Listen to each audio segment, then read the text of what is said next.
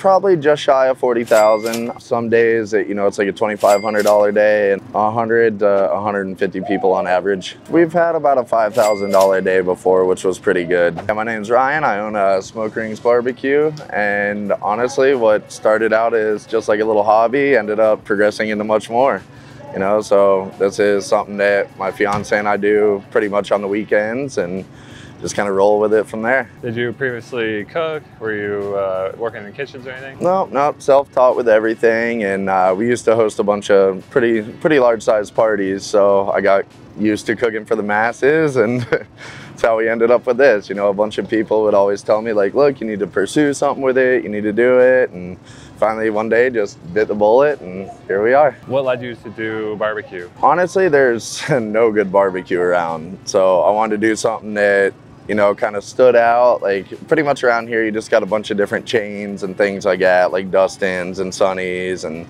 Four Rivers is another one, but everything's just so inconsistent. So, you know, one day you go there, meat might, it might be perfect. And then next time you go, it's just real dry and I don't know. So just kind of wanted to do something that would be consistent. And this is what it turned into was the barbecue company. So what was your first event like? What did you do? How was that uh, look versus now?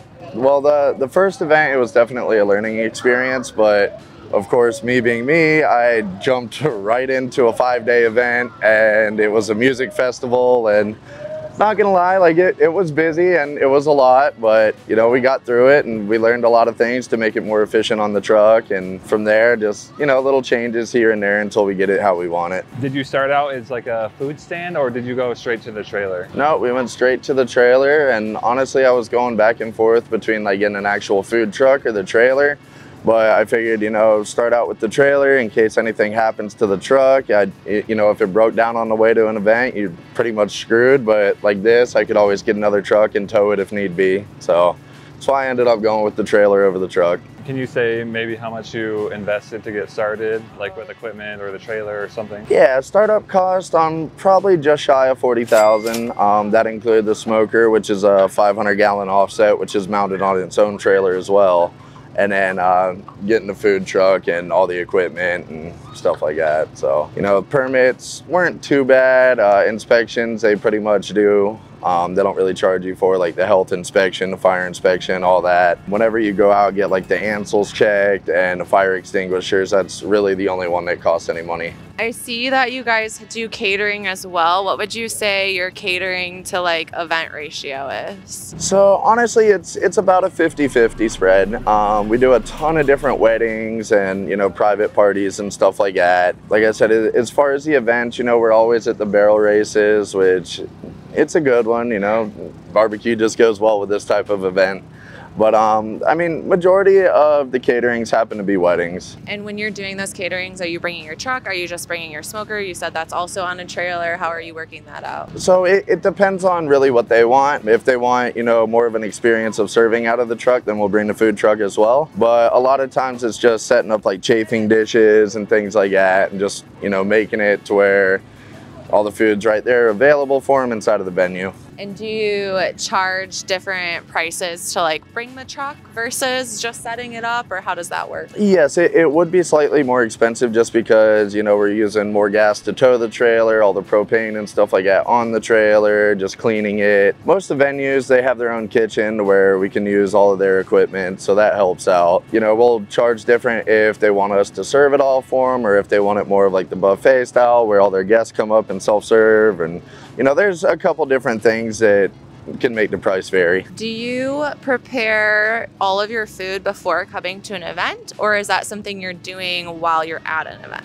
So it depends on the event. Um, if it's a multiple day event then I always bring a smoker with me and you know I'll usually cook like the night before or something like that to where I have a bunch of food that's ready to serve and then while we're at the event then I'll have the smoker rolling the whole time as well. But an event like today is it prepared usually typically beforehand or are you making it in the back? Yeah, it, I mean, as far as all the meats and stuff, it was all prepared beforehand. Same with the potato salad and coleslaw, but like the baked beans we're making here on spot. Um, same with like mac and cheese and things like that. Tell me about what kind of foods you're serving. What's your most popular item? Things like that. So brisket is definitely our most popular. We sell out of that one every time, followed by probably our pork belly and our ribs. And how long does it take you typically to like smoke the brisket, for example? So typically I'd be smoking it. Obviously it depends on the size of the brisket, but anywhere from like 10 to like 14 hours. And uh, we mainly use oak, but uh, sometimes we'll use hickory. And that one is more so like on request. Um, hickory is a lot stronger smoke flavor, but um, mainly oak. And then uh, sometimes we'll do like cherry and apple, like more of the fruit woods. So, what are some of your most creative or fun dishes that you've served on the truck? So some of them that we'll do will be like uh, we'll smoke some burgers and then top it with brisket and uh, smoked queso or we'll do like uh, pulled pork egg rolls where we'll smoke a head of cabbage and dice that up and then mix the pulled pork in with it or we've done it actually with uh, like apple pie filling as well and then when it comes out dust it with cinnamon sugar Can you tell us a little bit about your advertising and how you get people to come try your food and then how you get into events? So honestly, word of mouth has been the most helpful thing for us. Um, we started last July, so still relatively new. Ever since that first event, we just had a bunch of people contacting us, and really our only advertising is our Facebook page. You know, we'll post wherever we are that day for the event, and then. Uh, We'll get a bunch of people from that, but we do have quite a good following. To wherever we go, a lot of you know repeat customers show up and come there, tell all their friends about it. So I'd definitely say word of mouth has been the biggest thing for us. Have you done any paid advertising at all? No, haven't. Not one bit. What are some of the expenses that come with the food truck besides like food? So besides food, obviously, you know, like all of the stuff on there that you're serving it with, like forks and to-go boxes, different things like that. Another expense would just be, you know, like the general upkeep, all the cleaning supplies and making sure that everything's good to go, like cleaning the hood systems out and, you know, fryers and just all the stuff that we have on there. Can you tell us about like one of your best events, like maybe how many items you sold or how many people you went through, something like that? As far as items, I'm not entirely sure. I mean, we'll have some days that you know it's like a $2,500 day, and then other days closer to 4,000. So it really just depends. Like the uh, barrel races, like we're at today, it's usually 2,000 plus dollar day. It works out. I'd say anywhere between 100 to 150 people on average. Do you know what your best day revenue wise was? We've had about a $5,000 day before, which was pretty good.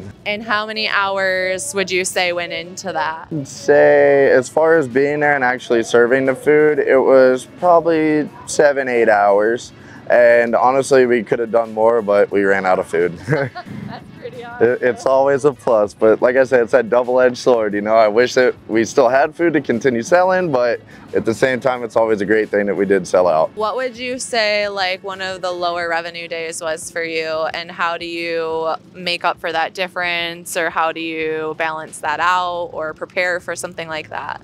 So, t- preparing for it, I mean, it, it's always just make sure that you have the money set aside. As far as a lower revenue day, I mean, we've had some days where, you know, it's like a $300 day, but that would be because, you know, we got rained out or something.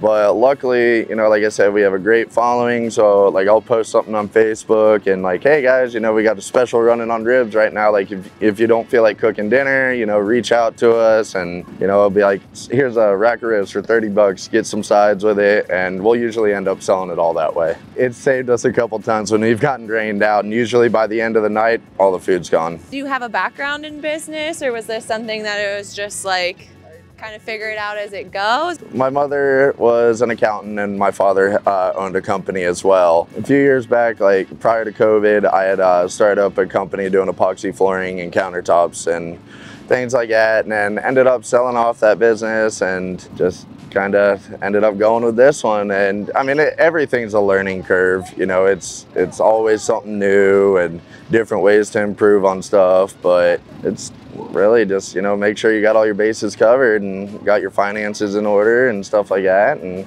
it should be all right. Do you have any routine gigs? Like, how often are you coming to this Sunday event type of thing? Do you have things like that are booked every week where people can find you consistently?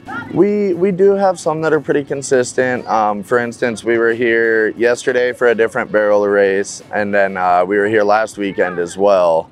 But uh, usually you can find us out here about once a month. We have a lot of repeat like breweries and distilleries that don't offer food as well. But I mean, that, that could all vary week by week. Sometimes we might be booked out, you know, two months in advance, so we can't get back to that place. But Looking into the future, how do you plan on expanding or growing? What does that look like for your business? so at this point, we're unfortunately having to turn down events already. I, I guess it's a good thing, but uh, I definitely need the second trailer and a second smoker.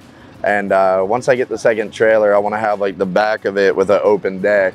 And then that way I could have the smoker built onto it in case we need to fire up some things right there on the spot and not have to worry about two different vehicles to trailer the other smoker out as well and things like that. But definitely want the second truck before thinking about like the brick and mortar or anything. Earlier, I thought you said you only did weekend events. No, I mean we'll we'll have some throughout the week, like uh, say apartment complexes, or uh, we'll go to like Boston Whaler.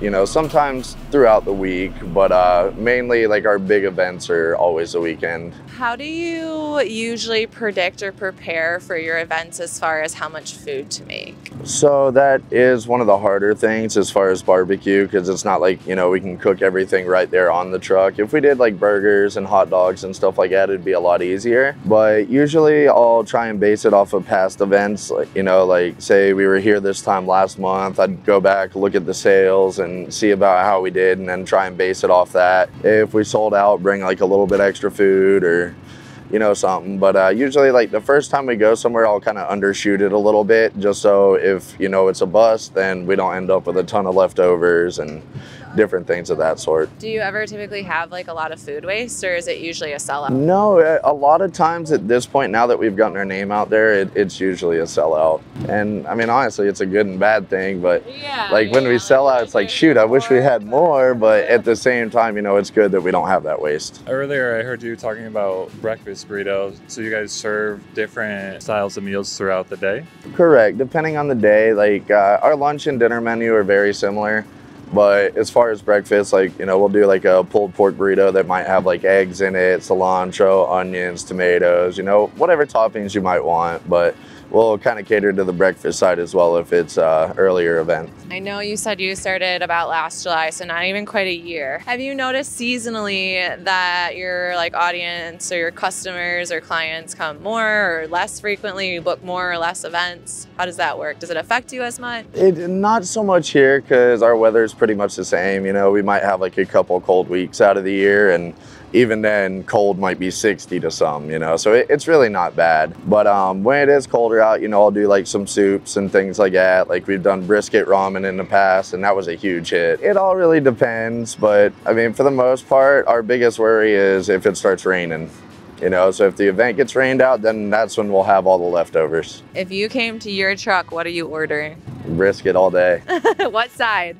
Uh, honestly, it's hard. The baked beans are great. Same with the mac and cheese. Can you talk about the trailer and how long it took to make, and then what equipment you would recommend? So honestly, in regards to the trailer, anyways, I actually ended up getting this one used from someone. So uh, that also saved me a little bit in overall cost for it. I mean, just try and utilize your space, you know, best as possible. I don't know. I mean, like the fryer that's on there, we rarely use, but it's still nice to have just in case like we want to do French fries or something like that one day. So it really depends. Just you know, you don't have to have every single thing out there. Just get mainly what you need, like a flat top. You know, your like burners. You can do the two to four burner. You know, whatever you need, and just don't go over the top. Make sure you got enough space in there because there's not much room. How many employees do you need? Can you run this solo? And then do you need more employees based on different events? So the majority of the time it's my fiance and I and usually about one other person. Say if it's a couple day event, then usually I'll be on the smoker the entire time and then I'll have two people in the truck and one person doing all the ordering. But on average, we, we wouldn't have more than four.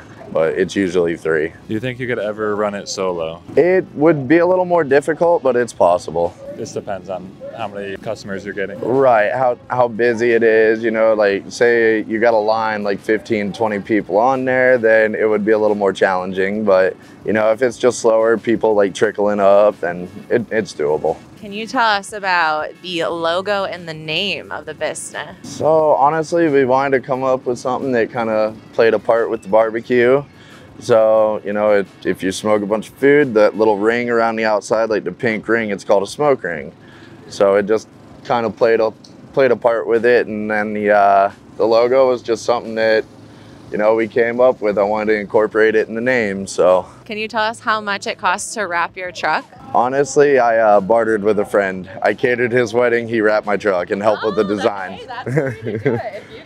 So, ti- yeah, typically it would be, I'd say, 3,500 to $4,000 for the design and wrap. Do you have three tips of advice for any other entrepreneurs out there? Really, just you know, make sure you figure out all your costs and all your prices are competitive and stuff like that. You know, you don't want to sit there and undershoot everything and then lose out on money that you could potentially gain from it. Double check everything and make sure it's something that you really want to do. You know, any small time business, you're going to sit there and it's a lot of work. So you'll have them sleepless nights and, you know, everything that comes along with it. And it's definitely a headache, but just make sure it's something that you really want to do. We're usually like all around uh, Daytona Beach, uh, Ormond, we'll go up to Ocala, uh, Lake Helen, DeLand, like we bounce around, but we stay mainly Volusia County. Like I said, mainly on the weekends is when we're out for the events. And randomly you can find us throughout the week at, say, different apartment complexes and things like that. But instead of going to the big chains, support the small businesses. What is the best way for people to find you, reach you? Yeah, I mean, uh, the best way to be able to like go through everything and preview it all right now anyways would be our Facebook. Uh, you could find that at Smoke Rings Barbecue. Our website is currently under maintenance, but it should be back up and running in, I'd say, about a week or so. I do see the number listed. Is it usually a safe bet to give you guys a call? It is, and then if, uh, if we don't answer, then just leave a voicemail and we'll always get back to you.